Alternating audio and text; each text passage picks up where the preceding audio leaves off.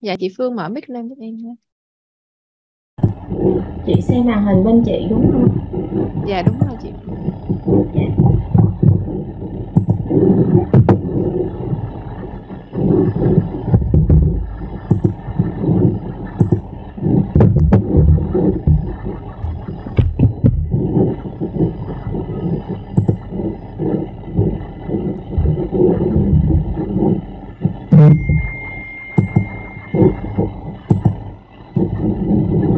Dạ. Chị share được rồi đúng không ạ? Dạ rồi. Chị nhấn F5 để share toàn màn hình giúp em. Dạ. À, dạ kính chào thầy ờ, Dương Quý Sĩ, Ờ, chào ừ, bác sĩ Diễn Khuê và các anh chị trong ban tổ chức. Ừm, lời đầu tiên thì em xin cảm ơn là à, đã cho phép hôm nay em được chia sẻ và cùng tham gia với mọi người để à, trao đổi ờ, cải thiện hơn về chuyên môn à, và chúng ta cùng giúp đỡ lẫn nhau để tốt hơn. uhm, thì cái bài của em là um, em muốn chia sẻ về cái vấn đề điều trị mất ngủ trên người cao tuổi. À, thực ra à, trong cái bối cảnh là bất ngủ chung thì em chỉ có một số những cái để ý nhiều hơn đối với người cao tuổi à, mà khi chúng ta kê toan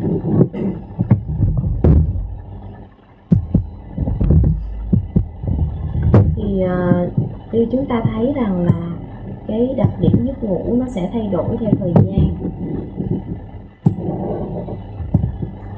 Đối với người cao tuổi đó thì sẽ khác với người trẻ tuổi là họ sẽ không có cái uh, nhiều cái giấc ngủ sâu như các anh chị nhìn thấy cái hình um, theo như cập nhật của bác sĩ Khuê thì hiện tại đó đối với đa ký giấc ngủ thì giấc ngủ sâu uh, ờ, giai đoạn 3 và giai đoạn 4 thì chúng ta sẽ gộp chung thành một giai đoạn 3 um, thì thường đối với người lớn tuổi các anh chị nhìn thấy cái biểu đồ um, giấc ngủ của họ đó thì ờ, không có cái giấc ngủ ba và giấc ngủ bốn. Chính vì vậy mà trên lâm sàng á, thì người cao tuổi họ luôn than phiền rằng là uh, họ không có ngủ được. Họ cảm thấy mệt mỏi nhưng mà người nhà của họ thì lại nói rằng không tôi đã thấy uh, uh, mẹ ngủ hoặc bố ngủ chỉ là họ cứ than mất ngủ thôi. Đó thì đó là những cái tranh cãi trên lâm sàng. Là chúng ta không biết chúng ta sẽ phân khoăn là ơ vậy thì có ngủ hay không ngủ. Đó thì trên cái các anh chị thấy nếu như mà giấc ngủ mà nó chỉ có giấc ngủ nông thôi nó không có giấc ngủ sâu ba bốn á thì người bệnh họ thường than á là họ ngủ nhưng mà họ chăn trở trong đêm nhiều nè hoặc là họ cảm thấy như họ mơ nhiều hơn. À, họ cảm thấy như họ không ngủ. À, mặc dù là cái rơi vào giấc hoặc cái thức giấc đều có thể giữ ở mức độ bình thường. Nó khác với cái người uh, trẻ tuổi. thì người trẻ tuổi đó hoặc là người không có mất ngủ đó thì chúng ta sẽ thấy là họ sẽ có cái giai đoạn ờ, ba bốn à, hay là chỉ là giai đoạn 3 chúng ta gom chung với nhau thôi. Đó là giấc ngủ sâu đó là giấc ngủ giúp cho uh, con người sau một ngày hoạt động hồi phục.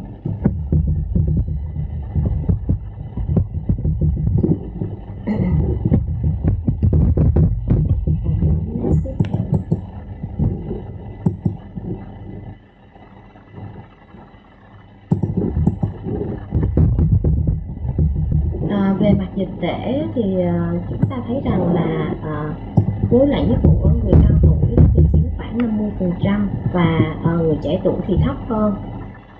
Và cái tỷ lệ mà khó vào giấc ngủ nó sẽ cao hơn trong các cái loại rối loạn giấc ngủ khác.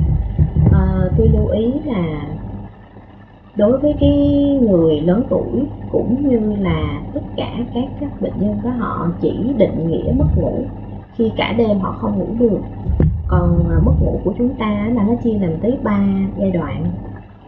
Có nghĩa là mất ngủ đầu hôn là người bệnh khó vào giấc ngủ trên 30 phút. À, giấc ngủ giữa hôn là người bệnh thức giấc nhiều lần à, và khó ngủ trở lại. Có thể cũng là à, trên 20 đến 30 phút và sau đó là thức giấc sớm hơn so với bình thường của họ. À, thì những định nghĩa đó bắt khi mà bắt đầu đã có những thay đổi đó thì chúng ta là đã có rối loạn giấc ngủ rồi tuy nhiên là người bệnh họ sẽ không bao giờ đến giai đoạn đầu ờ, mà họ thường là đến vào cái giai đoạn về sau giai đoạn nặng bao gồm mất ngủ người ta. Mình có thể nôm na nói là mất ngủ toàn thì. À, với cái quan niệm ngày xưa đó thì người ta nói rằng là à tại vì già cho nên như vậy cho nên không có quan tâm. À, tại vì ờ, theo cái tuổi ờ, sinh lý bình thường Ờ, nhưng điều đó mà với y học phát triển hiện đại thì chúng ta thấy rằng là ờ, đối với người già lớn tuổi mất ngủ cũng có thể dẫn đến nhiều cái nguy cơ bệnh lý khác mà những slide sau tôi sẽ trình bày. Cho nên là nó vẫn là một cái mục tiêu để chúng ta cần phải quan tâm và điều trị. À, không phải như quan điểm xưa là thôi vì già vậy đừng điều trị đừng chữa gì hết. Thì cái hậu quả à, sau nhiều năm á, thì họ sẽ nhiều cái biến chứng hơn. thế thì chúng ta thấy là uh, nhưng mà tuy nhiên ờ, đối với cái người lớn tuổi đó, thì ờ, khi mà họ mất ngủ thì sẽ có 90 tới 100 phần trăm rồi. Chúng ta thấy là luôn luôn chúng ta phải hỏi các bệnh đồng mắt. Ờ, trong đó thường hay gặp nhất là các bệnh lý tâm thần. À, ví dụ như là um, suy giảm nhận thức nè trầm cảm lo âu và đặc biệt là tự sát thì chúng ta thấy rằng là ồ người lớn tuổi mất ngủ và tự sát thì chúng ta thấy ồ, nghe có vẻ ít. Dạ không. Tôi à, làm việc tại bệnh viện Nguyễn Tri Phương đó, thì khoa ICU đó là một trong những cái khoa nhận tự sát ở người lớn tuổi mà thường là họ có thể tự sát bằng thuốc bằng hóa chất treo cổ rất là nhiều. À, về các cái uh, bệnh lý y khoa khác thì đối với mất ngủ nó cũng sẽ làm tăng cái nguy cơ tăng huyết áp rồi máu cơ tim và đái tháo đường lên gấp 2,5 lần so với dân số chung. Tăng cái bệnh lý về hội chứng chuyển hóa tăng cái nguy cơ mắc bệnh ung thư đặc biệt là ung thư tiền liệt tuyến. À, tăng cái khả năng đột quỵ hoặc là theo thời gian dài thì người ta thấy có mức độ tương quan giữa thời gian mất ngủ và teo vỏ não. Như vậy thì với cái hậu quả của cái mất ngủ gây ra như vậy đó thì chúng ta đừng nhìn ở góc độ chỉ là một triệu chứng mất ngủ mà chúng ta phải nhìn ở mức độ bao quát hơn về uh, mất ngủ và các cái uh, ảnh hưởng lên toàn bộ cơ thể và đời sống của người bệnh như thế nào. Khi chúng ta nhìn ở góc độ rộng như vậy đó thì giúp cho chúng ta tiếp cận sớm hơn trong điều trị. Chúng ta không có trì hoãn và điều trị muộn. À, điều trị sớm thì luôn luôn là bảo vệ sức khỏe con người à, tốt nhất.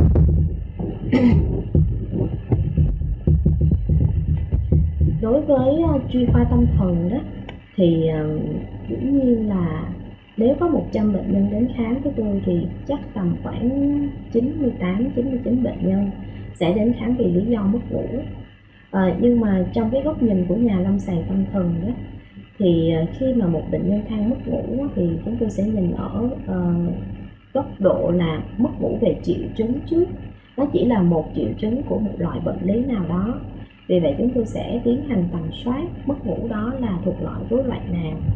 À, thì chúng ta thấy rằng là đối với uh, trầm cảm á, thì cái tỷ lệ mất ngủ nó sẽ nhiều hơn so với là rối loạn lo âu tâm thần phân liệt hay là các rối loạn cảm xúc lĩnh vực à, ờ, đó là lý do mà tại sao khi mà chúng ta mất ngủ chúng ta chẩn đoán trầm cảm thì xem xem là 50 phần trăm nó sẽ trúng còn 50 phần trăm còn lại thì nó sẽ sai. À, dạ à, nhìn ở mất ngủ và các cái bệnh lý nội khoa đồng mắt khác thì chúng ta thấy rằng là đối với nhóm đau mạng tính à, thì cái vấn đề mất ngủ là nhiều nhất. Chúng ta cũng không thể loại trừ được một cái đau mãn tính nó vẫn là một cái hội chứng và một cái nhóm triệu chứng trong trầm cảm mãn tính. Cho nên biết, ờ, cho nên nhìn trên biểu đồ này thì chúng ta cũng thấy rằng là cái mức ngủ chiếm tỷ lệ khá là cao. À, về các cái bệnh lý như là tăng huyết áp tiêu hóa hô hấp tim mạch à, thì chúng ta thấy là cái tỷ lệ mất ngủ nó nhiều. Tuy nhiên là bệnh lý tiểu đường ở đây thì thực tế lâm sàng tôi gặp rất là nhiều bệnh lý mất ngủ hơn so với những bệnh lý như là uh, tim mạch hô hấp và tăng huyết áp. Thế thì ờ, chúng ta thấy là mất ngủ và các bệnh lý thần kinh thì uh, mất ngủ ở người lớn tuổi là một loại mất ngủ uh, ờ, giấc ngủ phân mảnh ha. Người ta sẽ ngủ nhiều cái giấc vào ban đêm và thức giấc nhiều lần. À, và bù vào đó là người ta sẽ ngủ ngày. À, tức nghĩa là cái sự tỉnh táo trong ngày của cái người lớn tuổi thì uh, nó cũng sẽ bị phân mảnh ra bằng các cái uh, ngủ ngắn bằng các cái cơn ngủ ngắn à, các cái cơn nghỉ nghỉ uh, ngắn và nằm trên giường à, ban đêm á, thì thay vì thời gian ngủ thì họ sẽ có những cái thời gian thức giữa chừng. Cho nên cái này chúng ta gọi là giấc ngủ phân mảnh hoặc là rối loạn chu kỳ thức ngủ dạng phân mảnh. Thì nó sẽ tăng các cái nguy cơ về bệnh lý nội khoa khác như là trầm uh, như là tăng huyết áp đái tháo đường ha tăng nguy cơ về trầm cảm. Và nó sẽ là tiền đề nó sẽ là tiền đề cho bệnh Alzheimer ha. cho nên mất ngủ và đối với người lớn tuổi bệnh Alzheimer cũng rất là quan trọng và trên thực tế lâm sàng rất là nhiều vì vậy đối với những bệnh nhân bắt đầu từ tuổi trung niên và lớn tuổi, khi mà điều trị mất ngủ và trầm cảm, thì tôi sẽ giải thích cho họ rất rõ ràng là việc điều trị này thực sự có lợi và nó cũng là một yếu tố để bảo vệ chúng ta giảm nguy cơ suy giảm nhận thức và bệnh Alzheimer trong tương lai à, khi chúng ta bắt đầu điều trị thì chúng ta nói nhiều hơn về mặt lợi ích đồng thời giải thích những cái yếu tố nguy cơ thì nó sẽ giúp cho người bệnh tuân thủ điều trị nhiều hơn và giúp cho cái mối quan hệ với người bác sĩ và bệnh nhân hơn. Thế khi là chẩn đoán về rối loạn mất ngủ thì bây giờ người ta bỏ cái quan niệm là mất ngủ nguyên phát hay thứ phát như vậy thì nếu mà là, nếu mà rõ ràng nhưng mà trong cái kỹ năng của bác sĩ tâm thần họ đã chẩn đoán rối loạn trầm cảm và mất ngủ là một triệu chứng thì chúng ta không bàn tới. Nhưng mà có những cái trường hợp chúng ta khó phân biệt thì chúng ta uh, có thể là để rối loạn mất ngủ là một rối loạn độc lập. Nhưng mà chúng ta nên hạn chế bởi vì cái đó nó cũng sẽ làm cho cái gốc kê toa nó thay đổi bằng cách là chúng ta sử dụng uh, lạm dụng nhiều thuốc ngủ cho người bệnh. Ví dụ như là non BZD, non benzodiazepine hay là benzodiazepine. Như vậy thì chúng ta nhớ rằng rối loạn giấc ngủ chúng ta nên người người bệnh nhân chúng ta sẽ ứng dụng cái chẩn đoán này bằng cách là người bệnh nhân đến than với chúng ta là ok tôi bị mất ngủ uh, mới có một tuần. Nhưng mà điều đó không có đúng. Uh, mất ngủ một tuần của họ là mất ngủ toàn thì là cả đêm không ngủ được chúng ta sẽ phải phỏng vấn họ bắt đầu khó vào giấc ngủ như thế nào hoặc thức giúp sớm hơn như thế nào hoặc khó duy trì giấc ngủ hơn như thế nào. À, thì chúng ta sẽ xác định được thời gian họ bị mất ngủ. Vì vậy có thể là chúng ta sẽ tìm được thời gian ít nhất là 3 tháng hoặc một năm hoặc hai năm. À, để dễ phỏng vấn thì các anh chị cố gắng hỏi là khi họ còn trẻ cái giấc ngủ của họ từ mấy giờ? Đến mấy giờ. Sau đó từ cái đoạn phân khúc bình thường đó chúng ta sẽ phân tích là họ thay đổi giấc ngủ đầu hôm giữa hôm và cuối hôm bắt đầu từ lúc nào. Mất ngủ nó sẽ gây uh, ảnh hưởng đến chức năng xã hội nghề nghiệp hoạt động hàng ngày. Uh, và chúng ta thấy là ít nhất ba buổi một tuần. Uh, thì chúng ta mới uh, chẩn đoán nó là một rối loạn. Còn thỉnh thoảng chúng ta thức khuya hoặc là không ảnh hưởng gì hết một hai ngày thì chúng ta không tính ha. Yeah. Chúng ta cũng sẽ loại trừ các nguyên nhân khác.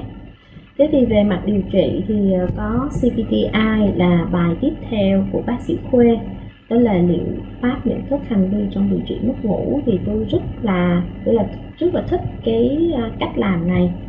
Ờ, đó là một cách làm mà chúng ta uh, những người bác sĩ chúng ta rất là uh, cẩn trọng khi mà chúng ta quyết định sử dụng chọn thuốc hay là chúng ta chỉ cần là một số có một số bệnh nhân chỉ cần thay đổi chỉ cần ứng dụng cái CPTI thôi thì giấc ngủ của họ cũng có thể tốt hơn. Đó là một cách mà chúng ta trân trọng cái cơ thể của họ nhiều hơn. Hơn là họ phải uh, suffer hoặc chịu đựng những cái tác dụng phụ của thuốc. Tuy nhiên là cái liệu pháp CPTI này thì rất là khó cho các bác sĩ trên lâm sàng.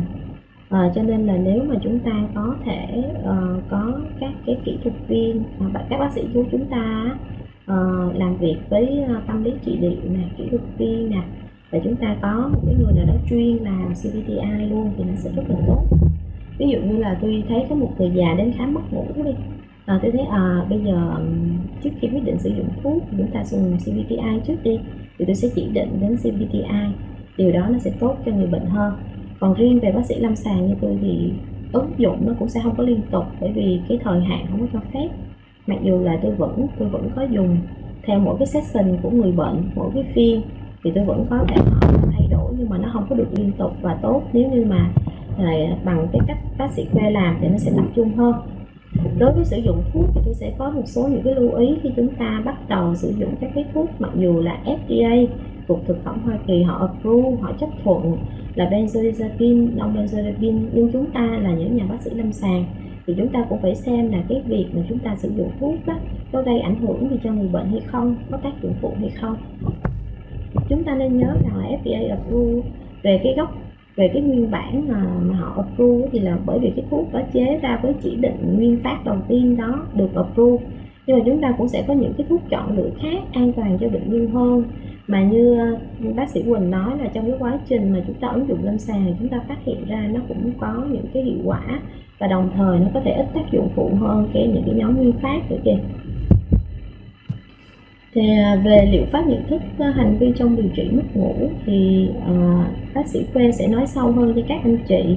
Nhưng mà chúng ta sẽ có các bước như là mình giáo dục về giấc ngủ nè liệu pháp giới hạn giấc ngủ liệu pháp kiểm soát các tác nhân kích thích thư giãn và vệ sinh giấc ngủ à, những cái điều này nó không có sáng rõ đâu các anh chị. Và những cái bước này là tôi đều có thực hiện trên các cái bệnh nhân à, mà tôi làm việc với họ.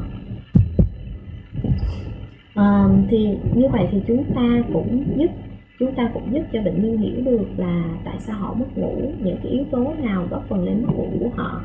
Ví dụ như chúng ta sẽ hỏi về các yếu tố nguy cơ, cơ ví dụ như là di truyền giống như là bác sĩ sĩ đã trình bày. À, nhưng mà chúng ta thế mạnh của tâm thần thì tụi tôi sẽ khai thác khá là tốt đối với sang chứng thời thơ ấu này các cái uh, rối loạn trầm cảm lo âu uh, bệnh uh, và các cái gọi là thói quen làm việc theo ca là thức ngủ thức thường hay là một cái tình trạng bệnh lý mãn tính. À, xong xong đó thì chúng ta sẽ giúp cho họ phát hiện được các cái yếu tố nguy cơ. À, chúng ta sẽ giúp họ phát hiện được các cái yếu tố nguy cơ à, yếu tố khởi phát um, ví dụ như là các biến cố vừa xảy ra gây đau khổ hoặc căng thẳng thì chúng ta thấy rằng á, là các biến cố gây ra đau khổ hoặc căng thẳng á, thì chúng ta thấy uh, nó vừa mới xảy ra và rất là dễ trực quan để cho người bệnh và người bác sĩ đều nhận thấy hết. Nhưng nó không phải là yếu tố duy nhất. Chúng ta phải giải thích cho người bệnh rằng nó không phải là yếu tố duy nhất gây ra nó không phải là yếu tố chính gây ra nó chỉ là yếu tố góp phần và yếu tố khởi phát trên một cái nền có sẵn thôi. Nhưng mà nếu chúng ta thấy rằng là trên một nền có sẵn thì chúng ta phải đôi lúc chúng ta phải nhớ đến cái chuyện là chúng ta phải sử dụng thuốc sớm chứ chúng ta cũng đừng có trì hoãn lâu. Về yếu tố duy trì bệnh nó sẽ là thế mạnh cho CPTI uh, góp phần vào như là những cái thói quen xấu nằm trên giường để xem TV để cố gắng mà ngủ rồi vì không ngủ được ban đêm cho nên cố gắng nằm nhiều hơn vào ban ngày và nghỉ ngơi nhiều hơn vào ban ngày. Cố gắng ngủ một vài phút vào ban ngày để khỏe hơn. Nhưng mà họ không biết rằng chính là những cái hành vi này lại tăng thức tỉnh vào ban đêm và tăng cái sự lo lắng. Và chúng ta càng lo lắng thì chúng ta càng khó và rơi vào giấc ngủ bên đó vẫn nghe được, đúng không Quê?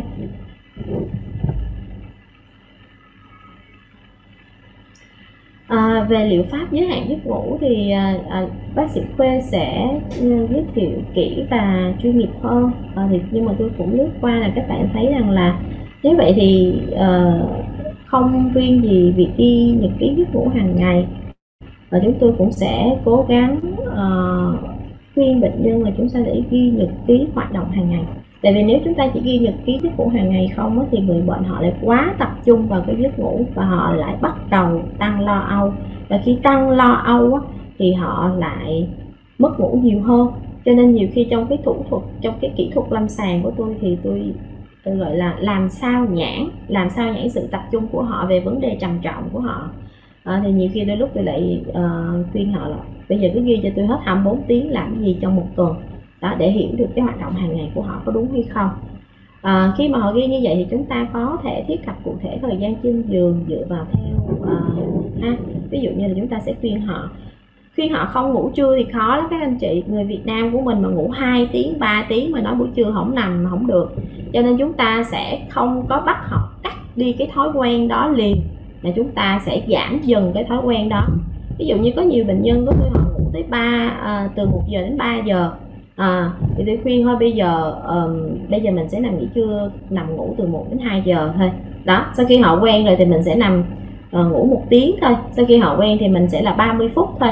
Tức là chúng ta cắt dần chúng ta đừng có bao giờ bắt họ bỏ ngang.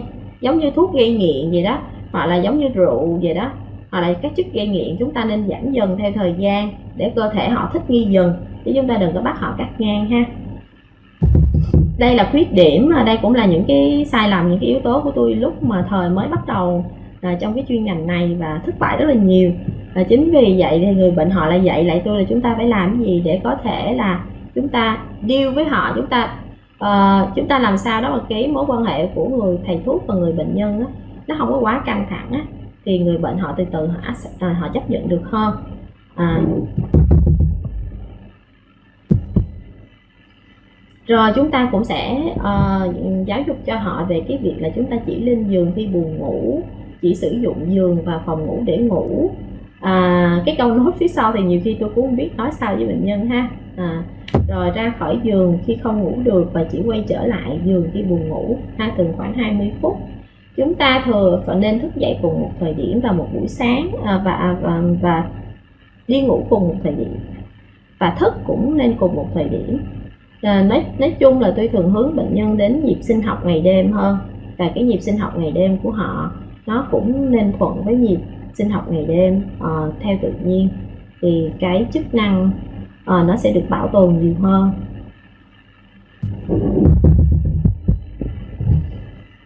Dạ thì đây là một số những cái uh, uh, vệ sinh về giấc ngủ mà các bác sĩ lâm sàng chúng ta nốt nốt trên cái bảng trên cái bảng làm việc của chúng ta và hoặc là chúng ta đưa bệnh nhân hoặc là cứ mỗi ngày chúng ta nói nói ít ha.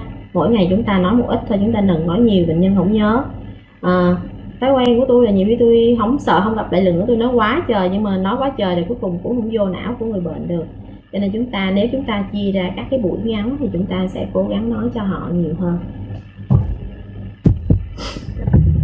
Về các cái thuốc thì uh, uh, tôi cũng ờ, xin lưu ý hơn ha. Ví dụ như là ừ, thị trường của chúng ta thì có thuốc diazepam nè lorazepam nè ambrazolam nè ờ, uh, temesta nè uh, clonazepam. Chúng ta có rất là nhiều thuốc.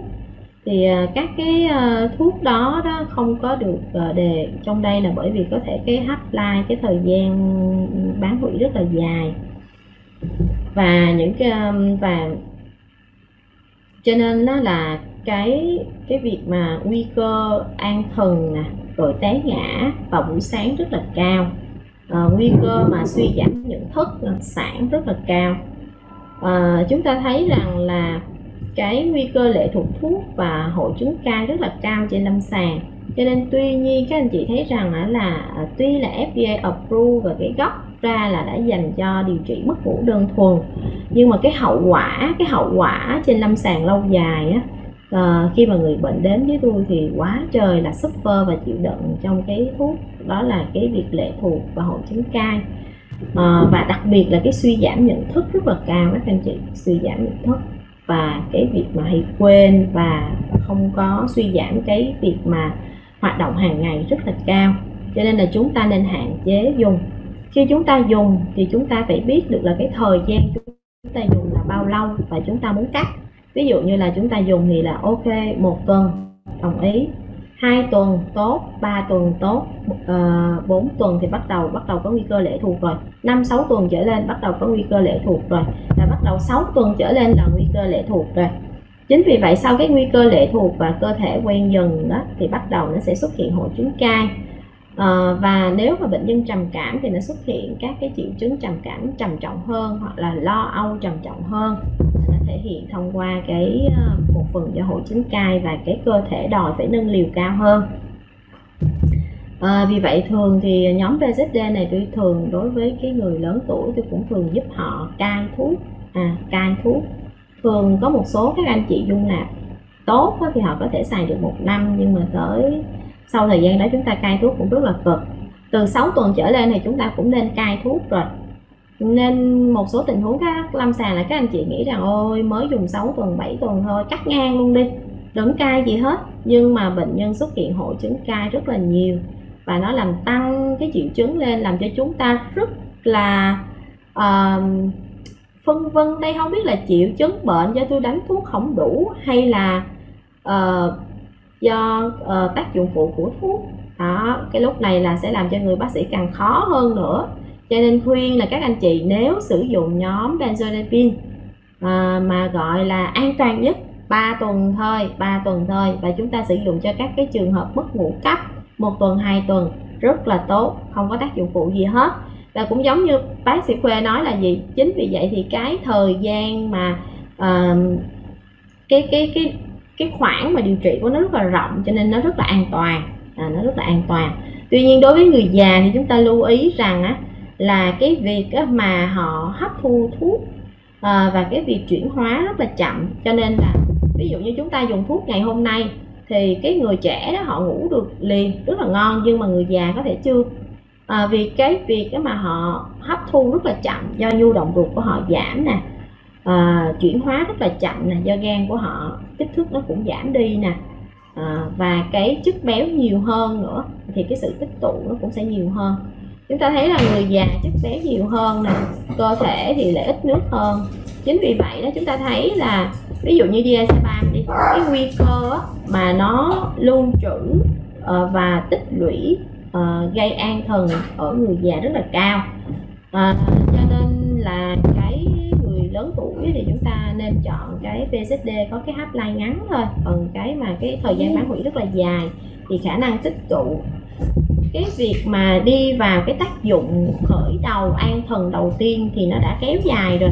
Và như vậy người bác sĩ mà nóng vội cho thêm một liều nữa thì chúng ta sẽ tích thêm một liều nữa. Và khi mà bắt đầu nó có tác dụng là bệnh nhân hôn mê luôn ha hoặc là ngủ sâu luôn. Cho nên uh, khi mà điều trị trên người già thì chúng ta phải có một cái phong thái đó là chậm thôi. Ha và cẩn trọng rồi đối với nông BZD thì chúng ta được đồn rằng là không có nguy cơ lệ thuộc thuốc nhưng mà thực ra nó vẫn gây lệ thuộc nó vẫn có hội chứng cai và tôi cũng đã uh, giúp cho một số những bệnh nhân cai thuốc non BZD và đối với tôi thì cái việc cai nông BZD đó nó khó hơn rất là nhiều BZD các anh chị. Nó khó hơn rất là nhiều à, và một số thuốc uh, được FDA approve thì những cái này không có trên uh, thị trường Việt Nam nên là thôi chúng ta sẽ bỏ qua ha. À, về các cái thuốc um, chống trầm cảm thì uh, xin chia sẻ các anh chị có thể sử dụng là bởi vì nó không có gây nghiện và chúng ta ngừng thì ngừng được và rất là dễ đơn giản lắm. À, nên các anh chị dùng thì sẽ an toàn hơn. Ví dụ như chúng ta dùng Vitazapin đi Vitazapin là một cái loại thuốc chống trầm cảm nhưng mà liều thấp á, thì nó lại gây ngủ nhiều hơn bởi vì cơ chế antihistamine nhiều hơn. Và chúng ta thấy rằng á, là à, một số các anh chị hiểu lầm là mirtazapine 30 mg là chúng ta giúp cho bệnh nhân ngủ nhưng không ngủ nó gây akathisia và bức rất nhiều hơn. Và dùng lên ô bệnh nhân không ngủ tôi lên viên rưỡi điều đó không có đúng ha. Liều càng cao á, của mirtazapine thì lại càng mất tác dụng gây an thần nhiều hơn. Chúng ta nên dùng liều thấp thôi từ 1 phần tư viên cho đến nửa viên mirtazapine 30 mg thì nó sẽ giúp gây ngủ tốt hơn. Và thời gian half-life của mirtazapine rất là dài cho nên đối với người lớn tuổi chúng ta nên nhớ rằng là chúng ta dặn họ là uống vào buổi chiều rất là sớm. Và thứ hai nữa là buổi sáng thì lúc chúng ta thức dậy chúng ta không có thức dậy liền. À, nó dễ bị hạ huyết áp tư thế cho nên là mình giúp cho người bệnh là di chuyển khá là nhanh. À, xin lỗi mình à, di chuyển à, trên giường à, thay đổi tư thế rồi từ từ ngồi dậy.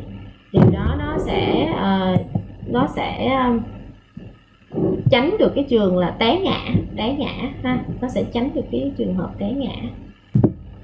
Trong trường hợp mà chúng ta không kèm trầm cảm lâu hay đau thì chúng ta vẫn có thể sử dụng cái nhóm thuốc này để chúng ta giúp cho người bệnh tốt hơn.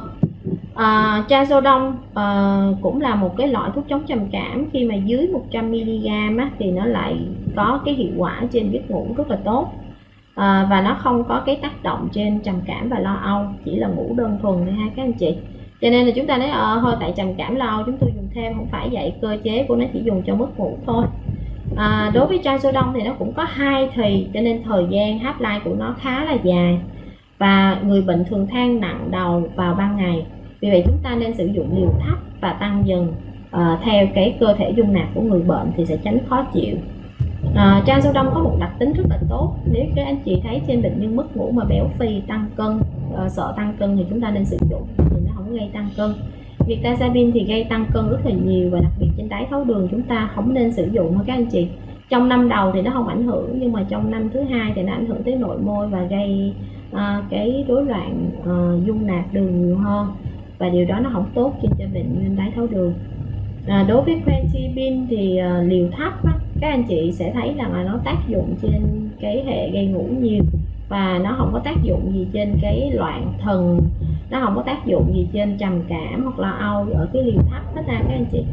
Thì chúng ta thấy rằng là hồi đó tôi cũng dùng quercetin cho một bệnh nhân uh, trẻ nhưng mà xong rồi bệnh nhân đọc là thuốc chống loạn thần dành cho tâm thần phân liệt mà tôi đâu có tâm thần phân liệt gì đâu xong rồi một bác sĩ cũng nhảy vô comment là ờ thuốc tâm thần mà tâm thần phân liệt mà sao dành cho bệnh nhân không có tâm thần phân liệt thì điều đó không có đúng ha. À, bởi vì là các cái liều khác nhau thì sẽ có các cái tác dụng khác nhau và liều chỉ định khác nhau. Cho nên chúng ta tại quercetin được gắn với tâm thần phân liệt bởi vì cái gốc của nó được được chế ra dành cho bệnh nhân tâm thần phân liệt. Nhưng trên thực tế lâm sàng thì chúng ta thấy nó có những cái phân khúc và ứng dụng khác nhau. Nên cái này chúng ta linh hoạt đối với người lớn tuổi cũng như người trẻ tuổi thì tôi khuyên chúng ta không nên dùng olanzapine risperidone hoặc là sumirid cho mất ngủ. À, hoặc là nếu chúng ta có dùng thì chúng ta nên dùng ngắn hạn một tuần hai tuần thì chúng ta ngưng. Bởi vì ờ, uh, risperidone và sumirid thì chúng ta thấy là tác dụng phụ ngoại tháp rất là cao. À, mất kinh khả năng mất kinh mất điều hòa kinh nguyệt rất là cao hai nữa là chúng ta thấy là nếu như mà người lớn tuổi mà xài ấy, thì uh, cái tác dụng phụ này nó còn tăng lên gấp 2 gấp 3 lần. Và cái việc mà uh, side effect đó uh, rất là lớn các anh chị. Nên chúng ta nên né cho người lớn tuổi. Trên người lớn tuổi là chúng ta nên tránh ha. Olanzapine risperidone sulfuric. Còn người trẻ tuổi thì chúng ta vô à, đối với olanzapine và risperidone thì là cái nguy cơ mà gây loạn vận động muộn về sau rất là cao chẳng hạn như là người bệnh nhai nghiện nè ha. Đó. Là cái tỷ lệ này nhiều lắm nên là chúng ta cũng tránh không có nên dùng. À, chúng ta tránh không có nên dùng à, làm sử dụng đầu tay ha. À. À, thì đối với uh, một số các cái uh, thuốc như là chúng ta thấy rằng là chỉ định thêm cho cái rối loạn trầm cảm nè. À, nó cũng được tốt ở trong cái level 2 nha các anh chị như mirtazapine, quercetin hay là uh, trazodone.